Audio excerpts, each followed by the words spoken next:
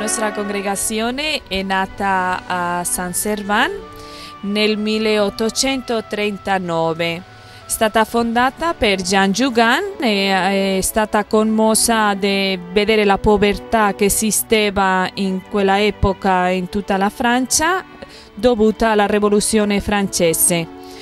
È trovata un'anziana mm, cieca che stava nella strada e di lì è la, la, radice principale della quale è nata la congregazione. Prima fu un'anziana, poi un'altra, poi un'altra.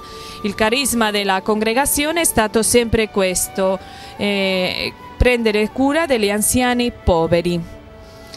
Attualmente siamo nei cinque continenti, abbiamo 202 case noi viviamo essenzialmente della questua, che la nostra madre ha voluto sempre che avessimo questa fiducia nella provvidenza, dove eh, le anziani che vengono hanno le pensioni minime, non riusciamo ad andare avanti a affrontare eh, tutte le altre spese due suore vanno in questo e c'è gente che già si abbonano da un abbonamento ogni mese, ogni sei mesi ci aiutano, altri invece andiamo porta a porta o passiamo per i negozi.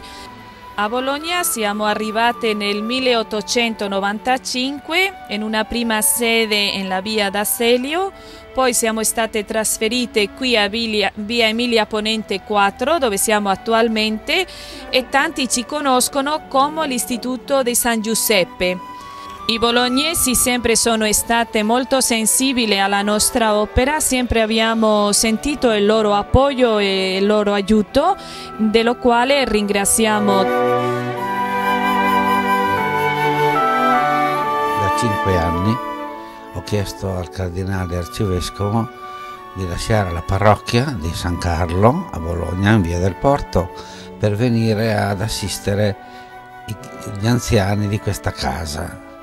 Il cardinale è stato felicissimo di accontentarmi perché mi diceva tu ti affido questi eh, anziani perché tu devi portarli tutti in paradiso perché sono nell'ultima tappa della loro vita e quindi nessuno ci deve sfuggire mi raccomando eh?